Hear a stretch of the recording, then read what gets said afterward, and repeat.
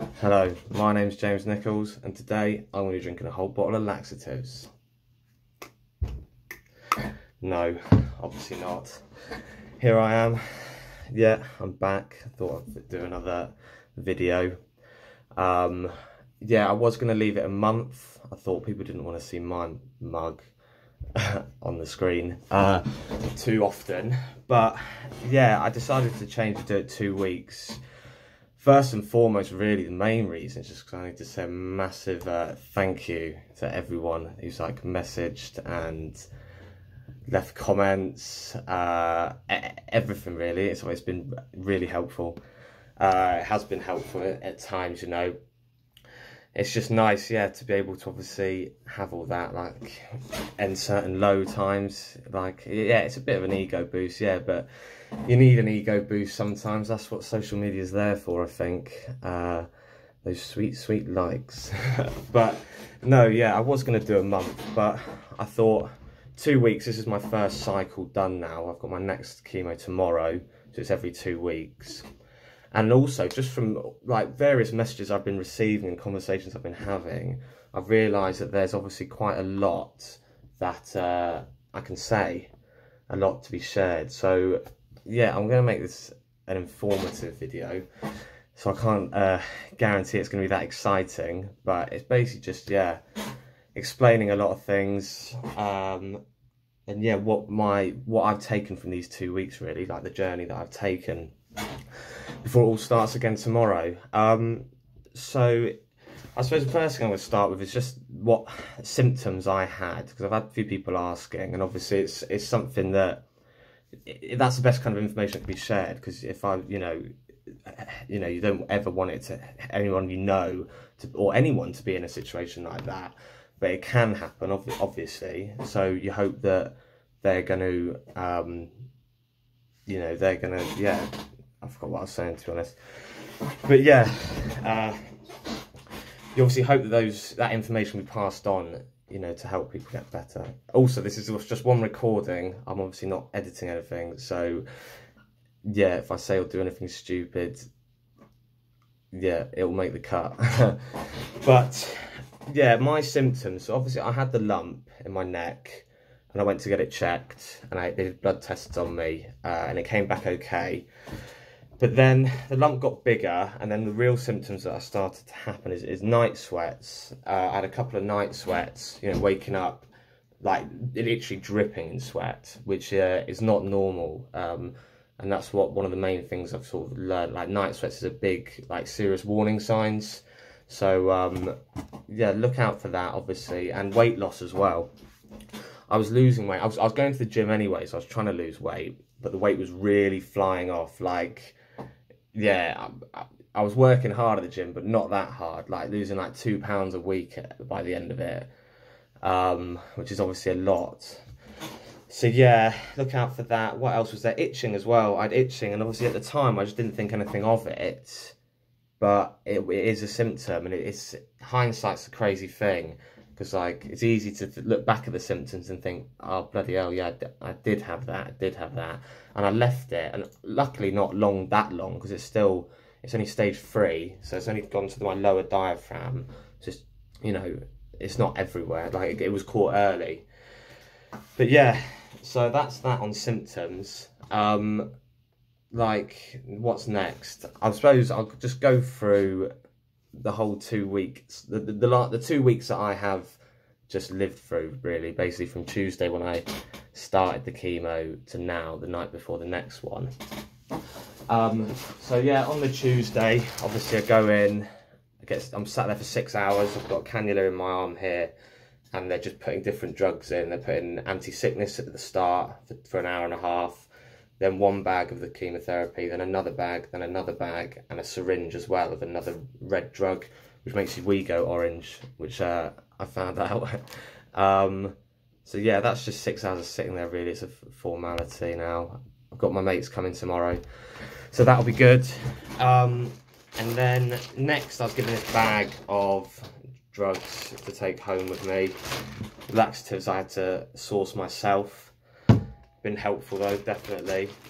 Um, and I was given all these drugs to take, so I'll just go through basically what my my weekly routine on the medicine front is.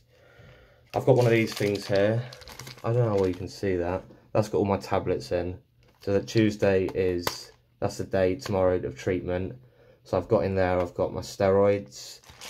Yeah, the steroids I have for two days, the day of the treatment and the day after and they're really good. They really perk you up. Um, they give you an appetite. They do keep you up at night though, so you do, you know, you can only have them in the morning. Um, but yeah, they give you an appetite. They just make you feel okay, really.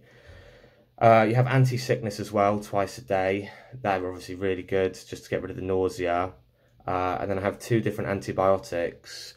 One is for influenza, like the flu, um, and then one's for like um, pneumonia, like I said, chest or chest infections, and I just take them all the time now for the next six months. Um, and yeah, that's ho hopefully just to stop me getting an infection. Really, I've then also obviously got ca calcium tablets, and then I've got this. It's like a sort of weird tasting juice drink, and I have to swish it around my mouth. I take one milliliter four times a day so I've just had it before I filmed this. Um, and that's four times and that's to protect your throat from like thrush. yeah. Um, so yeah, that's it really, the, the week. Uh, that's the week's medication. I'm going to take laxatives. I am going to have some today and hopefully it'll take effect tomorrow because, yeah, the constipation was bad. But, yeah, the first two days after the chemo, I actually felt okay. Like, the steroids made you feel pretty good. Um, I was really, I was eating a lot, like I put on a lot of weight just over those two days. But then after that, those next three, day three and day four, and day five, is uh, that's when it's bad. It's almost like coming off of the steroids. Like it makes you restless. It can give you like mood changes. I haven't had any of that, to be honest. Like mentally, like, like thank you know, touch wood. I've still been pretty like you know pretty solid really, um, which is good. There's more than the physical symptoms like the chest pain, uh, stomach cramps, um, headaches, sickness, and just like, yeah, just general pain really. And that's for like four days. But then the second week, it's okay really. The side effects go. Um, yeah, it was by about day six, I would say, or day five, no, day six, where I was actually starting to feel pretty normal you know, like I was able to do, yeah, I was able to be all right. Like I felt good. Like I went out, I went, yeah, it was wasn't too bad to be honest. And today I'd, I'd say I feel pretty normal. Um, it's just the fatigue. That's the only thing that that doesn't seem to go. And I think that's just because your body is constantly like rebuilding all these cells now that have been killed, like the healthy cells. Um, so you're just constantly tired, really. You know, wake up like it's midday, you know, it could be two in the afternoon and you'd be yawning and just body feels very fatigued. Um, but, you know, it is what it is, really. So, yeah, that's that's basically it. Um, I'll just go, I'll cover some positives, the positives and negatives that I've taken from these two weeks. Because like I said, I, I do want to make this informative and you know, if, if anyone's like going through this, basically, I, I, want to be able to pass on information. So I will go over the positives and the negatives. Um, and I'll start with the negatives as well because obviously I think you've got to go over the negatives really. And luckily, there's not that many of them, to be honest, and they're not that bad. Um, first negatives, obviously, the side effects, like, but that that's just the way it's got to be. But um, yeah, you just get through it really, you know. And then when you get to the second week and you feel okay, you've forgotten about the first week anyway. Like like bad days are easy to forget in every aspect. Like with all these negatives, I'm going to go over now. At this moment in time, right now, I've not they're not affecting me at all, and they haven't. They've had no effect really. Like because you, you forget, yeah, you forget about the bad days very quickly. So yeah, the side effects are obviously bad. Um, what else was there? Yeah, oh yeah, that's it. Um, there's like the, the negative thoughts, I suppose, and negative feelings that I've felt. there's obviously like there's a slight worry now with just a general worry about like the health that I think it's just something you you get over with time really but and it's more actually just the fact of the chemo but I find myself very worried about because my immune system's going to be low like germs and like you know I don't know like people like I've just become a bit of a germ freak which is not like me at all that is the complete opposite to be honest but it's just the way I've got to be I've got to be really really careful um you know, because I don't want to get a, any sort of cold or illness with it because it's just going to affect the chemo really.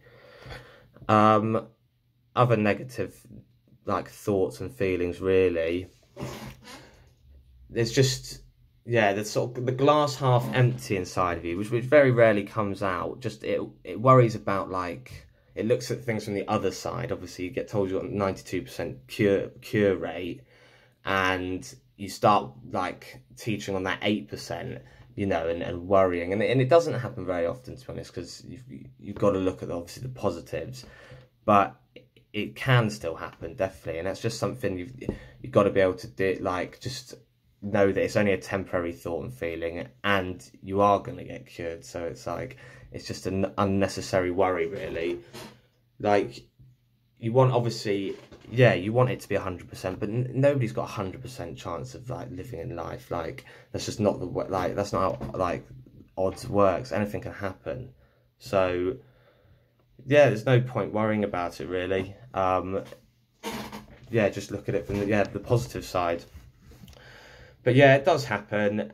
Um, and then the other worry is that I've actually had, which, yeah, it's like, you worry that people are being nice to you or like extra things being done just because you're ill or like like if I say to if I ask my mates if they wanted to come round, they'd be like, yeah, yeah, of course, mate. And it's like, but they would say that anyway. But if you like slight thoughts of like, are they doing that because you know they're just being extra nice? But then who care? Like who, who actually cares if they are? Because like that's what you're getting on face value anyway. So if people are being really nice to you, they're being really nice to you. Like enjoy it because it's not going to last forever anyway. Like it's six months, and it doesn't matter what that like any ulterior motive or if it, if it's extra because you're ill. If it is, then it is. But like they're still being really nice to you, so there's no point. Yeah, it shouldn't be an issue. But it, it is yeah, it, has, it is a thought that sometimes just creeps in. Like you can't obviously. Yeah, your thoughts are your thoughts. You just got to like deal with them. But yeah, that, that's pretty much it with the negatives. Oh, and food as well. That's the only other one, but it's not that it, not much of an issue. Like, obviously, I went to a burger place yesterday with my family. And I was looking at like the chicken burgers, but they all had mayonnaise, and you can't have mayonnaise. You can't have mayonnaise, parmesan, salad cream, anything that's pasteurized, I think, or unpasteurized. One of the two. Um, and then I was looking at the burgers. I was thinking, oh, that's red meat. It's like, should I really eat that? Obviously, I did just have the burger with bacon and cheddar cheese, which is allowed. But yeah, it's just a bit of a faff, really. Not being able to eat mayonnaise. It's basically just not being able to eat mayonnaise. That's the, uh, the a big faff for me because I do love mayonnaise. But apart from that, that is literally it. Yeah, that's all the negatives. Positives now, the good parts. Um, what positives can I, well firstly i have these last two weeks i've never lived so healthily in my life. I've never drank so much water. Uh, i've never look i've got green tea here. You know i'm just i'm i'm living healthy i'm drinking water. I've never had so much fruit and vegetables. All the meals that we're having obviously like whole foods healthy food and i do actually feel pretty good for it um, I, have started because I've got so much time in the day now. Uh, I mean, literally drinking these laxatives is about is the peak of the excitement on some days. An absolute godsend, I tell you. Um, don't have it all the time. It's not like some sort of unhealthy addiction to laxatives, but on the days of the anti-sickness, those first few days, it does help. But uh, yeah, moving on. I can't even what I was talking about now. Oh yeah, healthy living. I've also I've started doing uh, yoga as well, but it's like it's, it's called DDP yoga and it's like more intense. So it's a lot more like muscle strengthening still, but it is all like breathing, you know, deep breathing, improving flexibility. It's got to be good for you, really. Um, you know, everyone rants and raves about, and it, it was quite good. I felt pretty good after it. It was like 40 minutes, and it was just like doing all that and stretching and tensing. So it's good because that's the thing with the fatigue.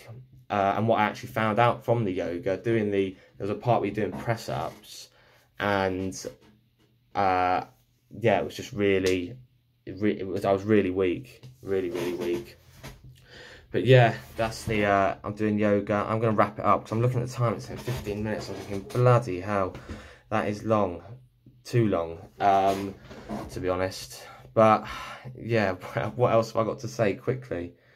because uh, I've, I've noted down the positives because they are good and it's like oh yeah I can eat whatever the hell I want because the weight is just flying off providing it's not like unhealthy I can just have as much as I want which I've never been able to do before because I just got fat so that's good it's that's the enjoyable part because I do like obviously I like food minus the mayonnaise um, yeah so yeah health, healthy living the yoga I'm going to try meditation as well uh, yeah, see what all the monks are raving about. So obviously that's meant to be good. Just something to do, kill some time really in the day. Uh, and it's all about wellness as well. Obviously, keep keep the mental state in check, and obviously in the best position to get through the six months and make sure they go as quickly as possible. Um, yeah, and that's that's about. I mean, just a general attitude as well is obviously changing. Like, I know it's cliche, but it's like the general like outlook on life. I don't know in what what in what way it's shaping yet, but it's definitely changing. Like just yeah, just you know, looking at life. I don't know what it even is at the moment. Yeah, it's like yeah, it is such a cliche, but it's like noticing the little things, like making the most. Like when you have a good day, you really appreciate the good days, and like you can, you just appreciate more. I think because yeah, I don't know. I maybe the next time I film, I'll be able to have a uh, you know better working out really. But yeah, that's about it. That's all I've got to say. Um. So yeah, I don't. No, that's it. Uh, an update on actually me and what's going on with me. So in a month's time, when I've had two, when I've had four full cycles, so eight weeks or six weeks, um, I have a PET scan on my body, and that will basically say where how well I'm reacting to the chemo, and if I'm not reacting well, I'll have a more uh, intense treat like dosage, or if it's going well, they'll take one of the bags off, and I'll just have three. So I find out that in a month or so. Um, so that's probably the next time. Obviously, I'll, do an update now because no point. I've literally spoke for nearly 20 minutes. So that's all you're getting. Obviously, just what a long and one. I might I might film do something when I shave my head, which is going to be happening soon, definitely. Uh, but that I'll, I'll probably just put that on YouTube or something. Because yeah, we'll see. Um, but yeah, apart from that, obviously, yeah, it's all pretty good. To be honest, like the main thing I'm sort of for me is I'm thinking it, it could be worse. It could be a lot worse. Like people get this kind of news when they've got like families and kids and bills to pay. And I've literally just got nothing. Like I'm living at home, so it's sweet. I've still got mates nearby. Basically, every day's a Friday. No, not even a Friday. Like that. That sort of Friday afternoon at like six o'clock, seven o'clock, when you know you've got nothing to do for days. I've just got that every day. so it's not, yeah, it's not too bad really. I'm making the uh, best of a bad situation, but fingers crossed in a month and a half, I'll have that PET scan and they'll say, yeah, it's really good. Obviously, you're reacting well, and um, that's it. Just carry on, really. So yeah, that is disgusting. yeah, that's it. Nothing else to say. Bye.